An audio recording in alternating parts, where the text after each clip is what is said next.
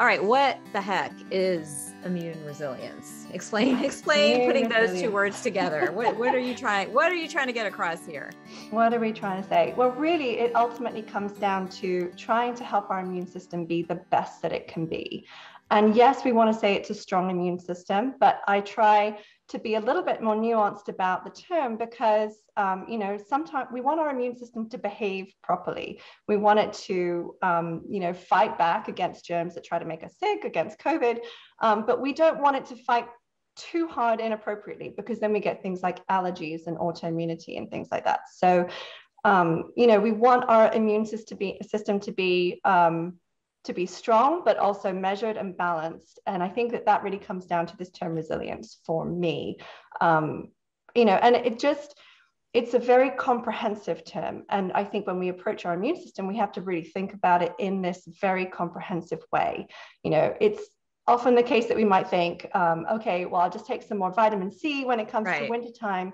But really, and I think what what your message is, is trying to get across with all the discussions that you have and what I want to try and communicate is that our immune system is this really sophisticated um, network of defenses. It has a tremendous job to do. It's got to be able to ramp up and down. It's got to be able to orchestrate this sort of like gigantic panoply of all these different um, cells and coming together. Yeah. Um, you know, it's got to have its immune memory. Um, and it's got to use inflammation but use it wisely. Inflammation is a big tool of the immune system to fight against germs, and then it has to kind of quiet down. So we need it to do the ramp up, and all we need it to things. do the quieting down. So all. So we're gonna let's let's link all that up together in a in just a second because I think that word people don't put together e- either. They don't think immune system and then think inflammation. They think they're two separate paths, right?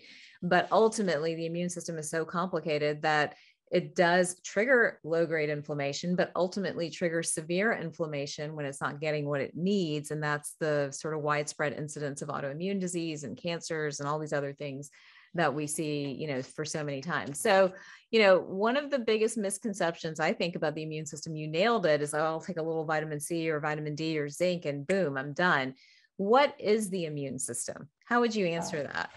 Right. So I think about it in um, in three big buckets, and this is sort of what I talk about in the book, at least to the, to kind of introduce the, the the concept that we have this multi-layered system. I mean, like if you think about how you protect something like your house, for instance, you know, you don't just have a single door lock you have, you know, you've got a fence, Lots maybe. stuff, right? You've got like maybe a security light. You maybe have a security alarm. You've got your door keys. You've got, you know, you have this whole different multi-layered system, and your immune system works a bit like that too. So you have even before you get to an immune cell, you've got barriers like your barriers in your lungs or your barriers in your digestive tract.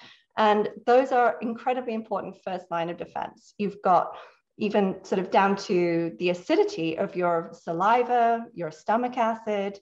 Um, right. Um, you know, you've got these cells that are lining all of these barriers, producing even things called anti, anti um, microbial peptides, AMPs. And sort of those are like a little, you know, uh, antibacterial cream, if you were, that, that, your body just makes and applies to all of these surfaces that um, produces pathogens, like it reduces the germs that are trying to make you sick. Um, incidentally, those are very um, much controlled and even directed by vitamin D. So, like, there's immediately one link that links vitamin how... D, vitamin D, guys. You're going to hear vitamin D over and over again. It's just one that you can't go wrong with, right? I think it probably right. hits all your buckets. So, but anyhow, didn't mean to interrupt you. No, no, absolutely. Vitamin D has so many different roles beyond just bone health, which we normally know it for. Um, so we have all our barriers, and like we know that gut health is important. I'm sure you talk about gut health a lot all the time. And right, and so that's like you know a huge uh, part of the immune system. 70 to 80 percent of your immune cells are patrolling your GI tract at any one time. So um, that's a big bucket. And then you've got all of the immune cells. You've got like cells called natural killer cells and neutrophils and eosinophils, mast cells. Um, that's sort of like your innate immune system that works against all different kinds of germs without being specific to one. Um, and then you have your adaptive immune system, which is like your T cells and your B cells, and they get really specific to any particular type of germ once they've seen it. And your B cells produce antibodies, which is you know what, something that we would recognize for the um, immune system.